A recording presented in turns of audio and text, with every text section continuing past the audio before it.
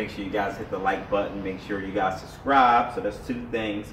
Oh, let's do the most infamous thing I like to say. You got questions, comments, concerns, and the new one you just want to leave whatever you want to say. You whatever you want to say to me, you can say it. Make you want to tell them about to subscribe to my YouTube channel.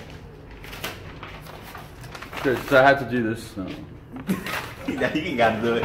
Uh, make sure you guys hit the, uh, the subscribe button. Any questions, comments, concerns, complaints, or whatever, leave it in the uh, comment section, of course, and I'll get back to it when I can.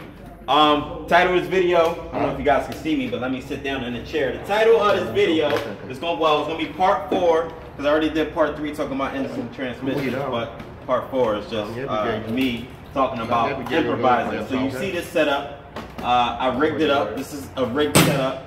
You see this block of wood, and uh, it's, I made a beam. I made a beam uh, using an engine support bar, just just a piece of it. Actually, it's uh, half of it. And uh, the reason I use this because you know you you put me working in shops like this, a lot of you know shops like this. If you ain't the dealership, if you ain't no full shop that's equipped with a lot of equipment, you're gonna run into a lot, like a lot of snags, especially when doing engines and transmissions. And you got uh, an inadequate amount of uh, shop equipment. That's the correct word to use. Inadequate. You have to mention the seatbelt. Uh, and uh, yeah, uh, seatbelt. So uh, one thing, you know, there's a few things that's always going to get you by. Just, just is all about improvising. It doesn't matter. Uh, it does kind of matter to a certain extent which you see. Something that's strong, something that's rugged, something that's durable, something that's going to last, something that's not going to bend. like I said, I use this support bar. And the reason I did it in this way because you know the longer support bars, you know what they look like from one end to another, and they mount up to the uh, the strut tower or a part of the uh, fender side. Well, in this case, uh, the way everything is set up, the strut towers are back here, and you got the air filter right here, and you got all this old fuse box and cruise control or engine mount bull crap over here. You can't really do shit because you got shit in a fucking way is what I really meant to fucking say. I forgot. You know, there I wasn't cursing for a second, not sounding like my fucking self and shit. Um, but what was I saying? I, I, I got losing my train of thought or whatever. Um, okay, so I got a piece engine support bar. Couldn't find nothing in the shop. So, but we did have uh, the engine support bar, and it wasn't long enough, so I used a half of it. Uh, long block of wood. I don't know if this would consider a uh, Four by four. Four by four? Okay. All right, Right, four by 18 four. four by four. My grandma used to always say, um, your ass with a four by four or two by four. That's her favorite line. But She said two by four. She's swinging a four by four. You're going to, you motherfucker. well, yeah, my grandma was mean. She was nice. cookies. She was fucking mean. making cookies. Yeah, uh, but uh, I used the seatbelt. Um, actually, we use a lot of seatbelts in here on uh, a lot of things. We have a lot of collision cars, cars that get uh, just just just parted out, and we just we end up with a lot of seatbelts and they get scrapped. But uh, it's there will be it's not a uh, it's an inadequate, inadequate amount of uh, shop tools to use shop equipment, but there are an adequate amount of things that you can make up to use. So um, like I said, I found something sturdy. Bam, got my seatbelt. You know, seatbelts can hold uh, a lot of weight, a lot of weight. So um, that's good. Like I said, I got my you know block of wood, and I'm gonna take this off the tripod in a second, um, so you know you can see. But if you when you doing stuff like this, when you're improvising, when you're in a place where you have to improvise, you got to go back into that uh, to to all of the uh, backyard mechanic skills that you harvest. You gotta or harbor. You gotta go back and gotta just bring it out. Bring it out in a place like this and think to yourself, what would I do if I was in, you know, my mom's driveway, or if I was in, you know, my, my, my grandparents' driveway, whatever driveway you in, what can you do to get yourself out of this situation? So me, when I'm working and doing big jobs, so I kind of, it, it ain't kind of, I don't let nothing get in my way. So I will be up and down in the shop, walking around, just going through stuff, checking through scrap piles, going out in the back of the shop, the side, or wherever we got scrap parts at. I'm gonna make me something to use. 'Cause, You know, I gotta get paid. I gotta get this job done.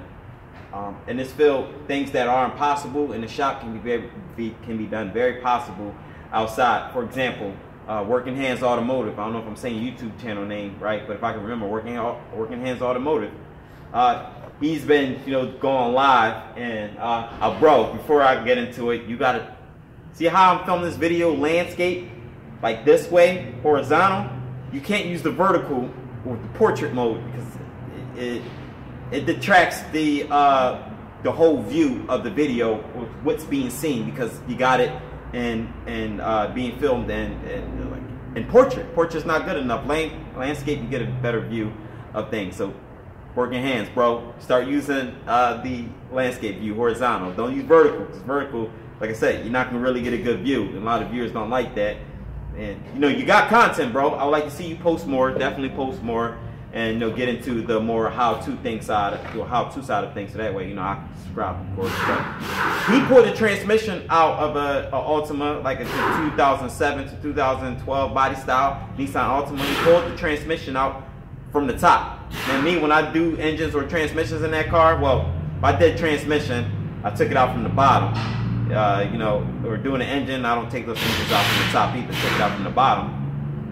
But you know, that method that's all about being in the backyard, just or your driveway. You just you start improvising. You start how he took it out from the top. Like I said, I would have took it out from the bottom. It's all kind of methods. My method ain't gonna be your method. Your method could be different. I'm just saying, when you you in a snag, this is when it's good to have that backyard skill set, definitely. So let me go ahead and show y'all uh, what I'm working with and all of that or whatever. Any questions you guys have about you know me replacing the transmission, I'll be sure to go over it and just give me a second. So for those who want to know, this is 2005 Honda Pilot. I don't know what the year goes up to. I know my daughter's mom has this car in 2008. I believe this one goes up to 2012, 13, or I don't know. You can correct me. You guys are the expert. Everyone's an expert on the internet. So someone be sure to you know fill me in on you know that whole thing. But uh, like I said, 2005 Honda Pilot, all-wheel drive, and this was like I said, this is my setup. And this is why I got it hooked up to around the uh, intake manifold. And there's a hook right there, well, uh, you know, jacking uh, support bracket or whatever you want to call it. And you see all the oil dry at the bottom because my dumbass, I didn't drain the fucking transmission. So shit spilled all at the fucking bottom and shit. Now I got a lot of fucking shit to fucking clean up. God fucking damn it.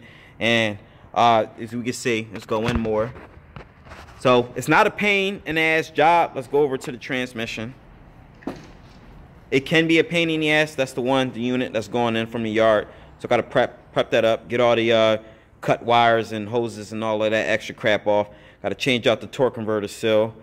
And this is the, the one that just came out. And the reason why I was getting replaced because it was just, it was slipping bad. It was slipping bad, like really fucking bad. And you, you could get it to move, but you got to really smash on the gas to get it to go in a low gear. So Yep, that's the units coming out. So waiting for got a few more things coming in tomorrow. Once I get those in, then you know I could get back to you know putting this transmission back in. So coming out wasn't that bad. That's why I last left off at. As you can see, I did a little clip, a little cut and edit. Uh, I said, it wasn't that bad. You know, you gotta. It's like climbing the mountain to get your subframe out. Once you get the subframe out, got the engine lowered down some, got enough run get the transmission out. Uh, you see, uh, I don't know if I showed you, I probably didn't, but left these parts with most of the suspension on. Um, left the rack, got the steering wheel locked into place, got the rack still on the uh, subframe. Uh, good thing about, well, I, me doing this setup, that I have a side engine mount, but I don't have a side engine mount on that side. Luckily, it's not like uh, the uh, four cars that I work on, like the Taurus, or like a Mazda 6, or I'm just speaking of the 3.0 motor, or the, uh, the Ford, uh, what was that, the Ford 500 I did recently, um, weeks ago.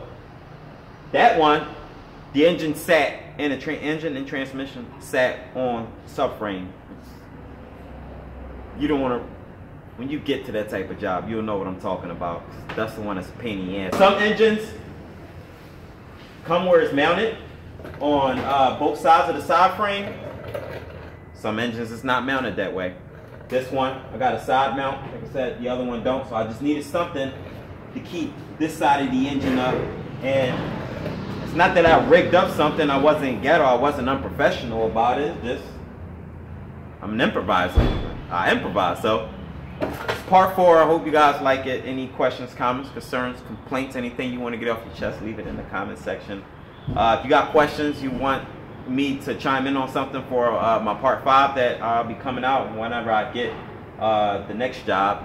Um, hopefully I'll have another transmission lined up uh, this week or next week. I'm not sure or whatever. Depends on uh, how things pan out. But uh, make sure you guys fill out that comment section. You guys got questions or whatever. And uh, again, thanks for watching Leek Auto Repair, and that's all I got to fucking talk about.